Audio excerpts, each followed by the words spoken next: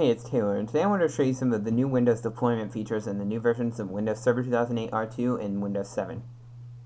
To do this, we're going to need a Windows Server 2008 R2 server in an Active Directory environment, and a Windows 7 machine that we're going to use to create some of our tools, and we're going to need a Windows 7 machine that we're going to take an image of, as well as a Windows AIK, which I put a link in the description. Once you have all of these things, we're going to start by preparing your source machine that you're going to take an image of and deploy onto clients. So basically, so you just install Windows 7 and then get it exactly how you like it. Customize all of your settings and install all of the software and updates and everything that you need to deploy onto clients because this will be the image that we're going to um, we're basically going to copy and we're going to deploy over the network. Once you've done that, we're going to come back to your machine and I'm going to assume that you've installed the AIK, so if you haven't, just install the AIK on your system here, and I've installed it. So now we're going to build the tools that we need to image that machine that we had just created. So the first thing we're going to do is we're going to have to open a command prompt as administrator.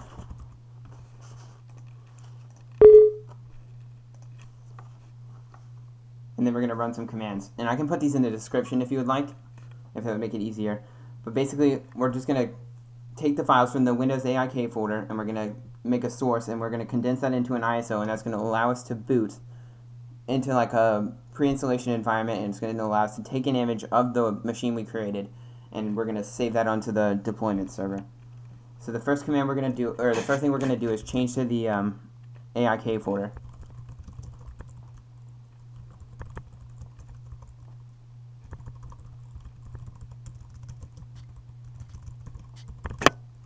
Right, and we're, we're in the AIK folder. And then I'm going to copy the PE file, so copy. I'm going to make a new folder on my C drive called WinP. Alright, so this is copying everything that we need to make the PE disk onto my C drive.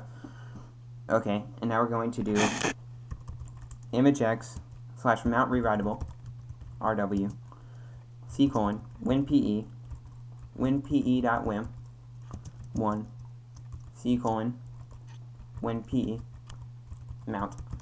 And then that's going to mount that it's going to create and mount an image for us. Once we've done that we need to copy this program into the mount folder so it will be saved into our ISO so we're going to copy imagex.exe from C program files so C program files Windows AIK tools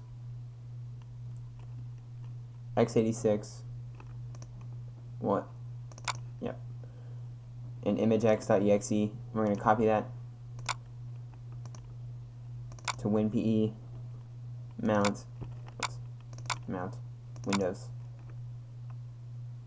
System 32 save it in there.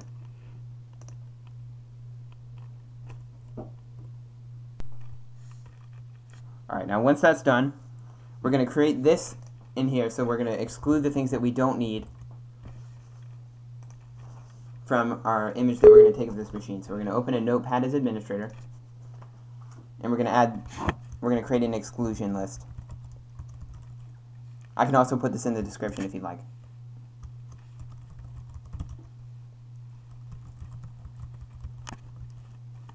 So now that I've created that, I'm going to save it as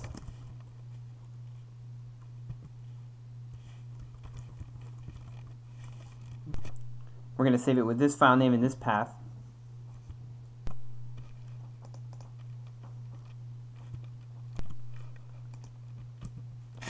Now we're going to go back to our command prompt and we're going to unmount our image and we're going to generate our ISO file. So we're going to run imagex unmount, commit,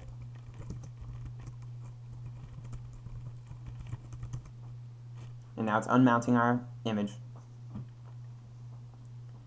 And so once that's finished, we're going to have to copy our image file to our ISO sources folder. So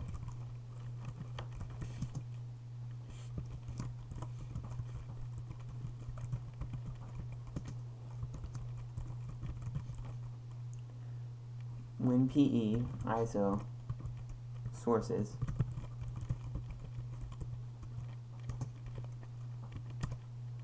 Alright, so let's copy that to our ISO sources file. Now we're going to actually generate our ISO file. So we're going to run OSC dimg dash n dash h dash bc colon backslash winpe etfsboot.com c colon winpe ISO and then we're going to do a space I'm going to type c colon winpe ISO ISO or er, when we'll call it winpe.iso and that's going to generate our ISO image once we've created that ISO file, that's what we're going to use to boot that Windows 7 machine that we created earlier off of and copy the contents of the, of the hard disk into an image and store it on the deployment server. So now that we've got our ISO built, we're going to go and we're going to prepare our server that we're going to use to deploy machines. So I have my Windows Server 2008 R2 server right here, so I'm going to log in.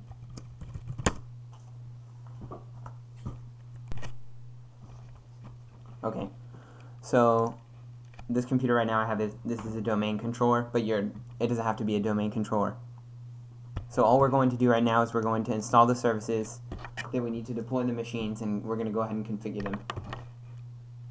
So if I get, so I'm getting server manager up.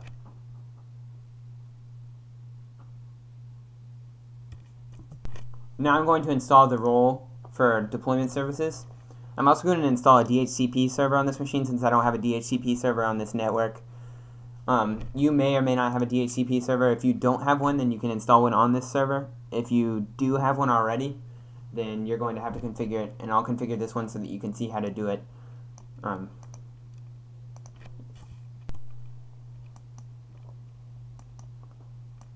and I'm going to go through, and I'm going to create a scope for my network.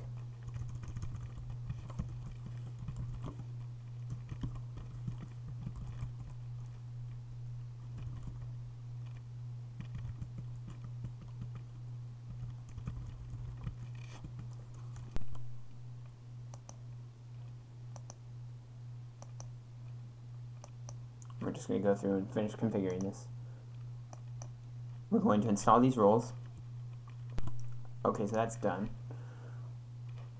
So now if we go into roles, we can see I have my DHCP server and my Windows deployment server listed. And this will show that this is not configured, but I'm going to go check on my DHCP server before I do that.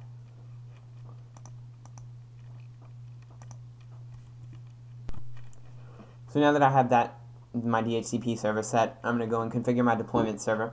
So we're going to go over here on the left in Server Manager, and we're going to go to the Deployment Services tab, and we're going to go to Servers, and we're going to pick our server. And then I'm going to go to More Actions, and I'm going to configure my server. And then this is saying that you have to meet the requirements, and you have to be a member of an Active Directory domain. You have to have a DHCP server on the network, which I do, I just created. And there has to be an active DNS server. This machine's also a DNS server, and the server has to have an NTFS partition to store images on, which it does. So I'm going to click Next.